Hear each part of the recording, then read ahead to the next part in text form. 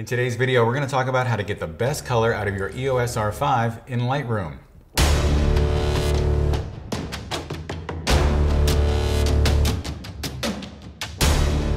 I don't know about you guys, but I was really excited last week when I realized that there was an update for the Adobe applications and that they were finally going to support the EOS R5. And so I downloaded the update and I got in there and I started looking around and I realized that the camera matching color profiles were missing. And this is really crucial to my workflow. If you guys have ever been to one of my workshops, one of the first things that I show people during the retouching section is to change Lightroom's color profile from Adobe standard to camera matching standard. Now, I don't know what Adobe based these profiles on. Maybe it was landscapes or something similar, but I don't think it was portraits of people, at least not with a Canon camera. In fact, when you use Adobe Standard, to me, it sort of looks like a 2008 Nikon image. It's just not very pleasing. Hopefully that wasn't offensive to you, but probably if you're watching this video, you're not a Nikon user. So anyway, I got online and I started looking at third-party options. And along the way, I realized that the EOS RP, which was released 18 months ago, and the 1DX Mark III do not have color matching or camera matching color profiles in Lightroom, which leads me to believe that it won't be anytime soon before the R5 and the R6 are fully supported in the application. And this is very disappointing, but luckily I found a third-party vendor, Color Fidelity, and they make profiles for all sorts of cameras. And so I went ahead and downloaded version 2 for the R5 and it cost me a whole $15 and unfortunately those profiles weren't that great. But then I went ahead and I emailed the developer and I sent him some raw files from the same photo shoot from the R5 and the 5D Mark IV just to compare and we exchanged a few messages and I'm sure other people were probably doing the same thing and helping him out. And then I got version 3 of his profiles and they were fantastic. He went ahead, it appears, and sent an email to everyone, sending out an update of the profiles. And I think he also said that when he updates them again, he'll do it again. So I would just expect that these profiles are just going to get better and better over time. So before the Lightroom applications updated, all we had to work with really with this camera were the Canon applications. And their software, Digital Photo Professional, is really slow and only has global adjustments, but what it does have are the same picture styles that you get in your camera. So JPEGs from your camera in picture style standard should match JPEGs that you process from raw images in DPP with the picture style standard. So to set the table, I'm gonna start off by looking at a 5D Mark IV image in DPP in picture style standard and in Lightroom in camera matching standard. And that way we can see how those two compare. Then I'm going to show you guys an image from the R5 in DPP in picture style standard and the same image in Lightroom with the color fidelity picture style or profile standard. And that way you can see how those compare.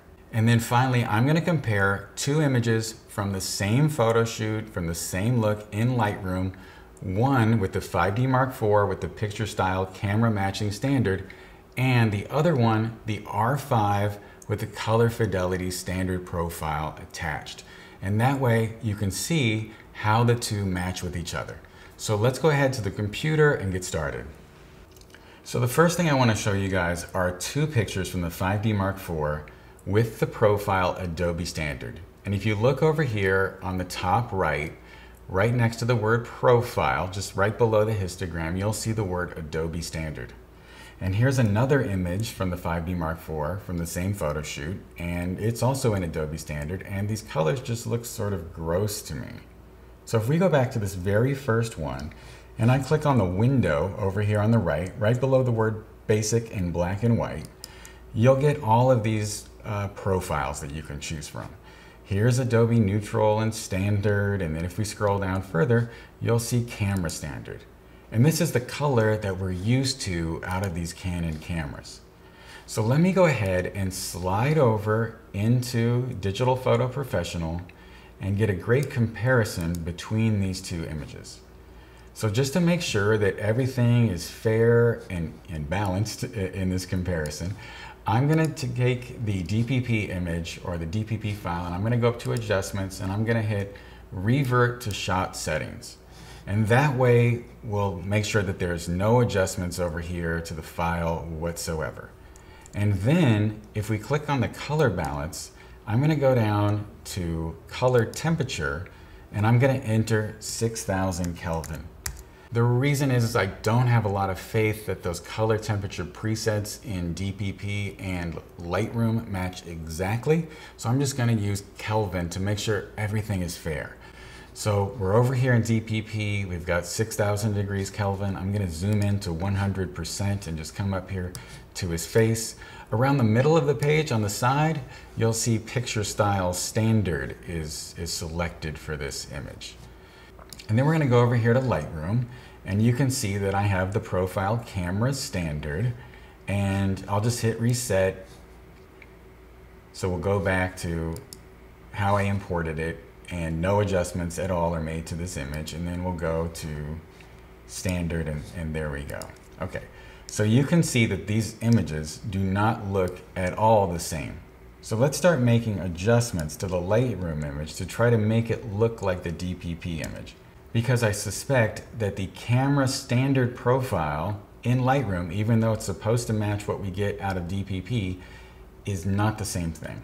So I'm gonna start off by cooling this picture down to 5700 Kelvin. That is 300 degrees. And then I'm gonna go ahead and look at the saturation of the image. It feels like the saturation is probably about 15 too high, I'm guessing. And then I can tell that there's too much magenta in this image. So I'm just gonna zero out uh, the green magenta slider here and see if the two of them match. And I would say that's reasonably close. But it's not perfect, but it's good enough for a comparison. So just remember, we've cooled down the Lightroom image by 300 degrees and we've made the green magenta balance say zero, even though by default it was around 11 or 15. And then we've taken the saturation and decreased it about 15 points. Now we'll just need to remember that probably for later. So let's go ahead and look at the R5 image in DPP and in Lightroom. So now I'm gonna switch over to this R5 image. Okay, we've got it up there. I'm gonna pull up the same photo over here in Lightroom. And now I'm just gonna hit reset in Lightroom to make sure everything is reset. And I'm gonna go over to DPP, I'm gonna go to adjustments and revert to shot settings. And now we know that everything is cleared out. I'm gonna change the white balance in DPP back to 6000 Kelvin. And I'm gonna make sure that our white balance over here in Lightroom is 6000 Kelvin. And you can see up here in the top left that this is in fact an R5 image. So over here in DPP on the right, around the middle of the page, you can see that the picture style is set to standard and we're getting good color out of the camera. So I wanna come over here into Lightroom and I wanna click on the profile window and I wanna browse down to the very bottom and let me find the color fidelity standard version 3. And you guys can see right away that these two images match perfectly. And that's because color fidelity, or pretty much perfectly, and that's because color fidelity, I believe, has worked to make their standard in Lightroom look exactly like the standard that you're gonna get out of your camera or the standard that you're gonna get out of DPP. And I think that is a fair and reasonable and a good starting point to be at. Now, if you want to make it look like the Adobe standard, which actually I think did look pretty good, I'm sorry, I have to correct that. If you want it to look like Adobe's camera matching standard, which I think looked pretty good on the 5D Mark IV, we just need to make some adjustments to this image. So let's go back now and we're going to pull up an R5 image on the left and we'll have a 5D Mark IV image on the right, both in Lightroom, and we'll try to make them match. So let's just go ahead and maximize this window here. And we'll go ahead and grab our R5 image. And remember, we just want to make sure that the, the R5, I mean the 5D Mark IV picture is in camera standard. It is. And that we need the Kelvin to be 6,000 Kelvin. And we need the saturation to be zeroed out. I just want it to be fair across the board. Actually, I'll just do this. I'm gonna hit reset. So everything on this image has been wiped away and I'm just gonna make sure that it's in camera standard, which it is. I'm just gonna make sure that the color balance is 6,000 Kelvin, which is where I shot it at, and plus 11 green. So let's go ahead and pull up the R5 image, and then we'll look at it. We'll make sure that we're in color fidelity standard version 3, and that the color balance is 6,000 Kelvin plus 11. And let's just get in there close and look at these two pictures side by side. We've got the R5 image on the left. And I would say that that looks undersaturated, slightly magenta. No, I would say it looks undersaturated and a little cool. So let's look at that bigger. So earlier, we had to take about 300 Kelvin off of the 5D Mark IV image to get them to match. So let's do the opposite, which is let's add 300 Kelvin. So now we'll go to 6300 Kelvin. And we had to take 15 points of saturation off. So we're gonna add 15 points of saturation in. And now let's compare the two images. Okay, I think that the color fidelity needs a little more warmth. So we'll just bring that up to 6500 Kelvin. And let's compare the two. And let me just check this um, green magenta balance on these two pictures. Okay, so they're both set right now to 11. Let me look at the comparison. I would say that there's more green in the 5D Mark IV image. So let's take some, uh, let's add green or take magenta out. Uh, I'm gonna zero it out of the R5 image.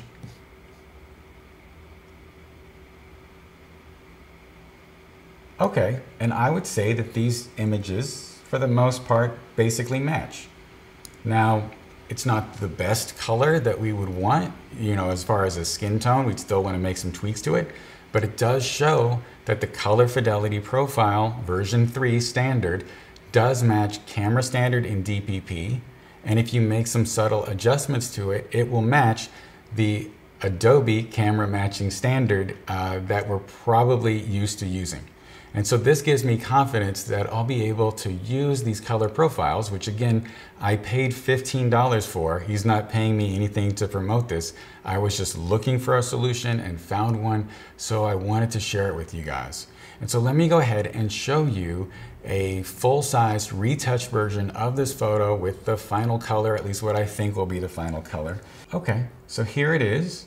And if you notice, like I've done some skin retouching, I've brought my white balance to 6350 Kelvin and the magenta to 10. I've increased the exposure a little bit, played with the shadows and highlights, and I did some dodging and burning.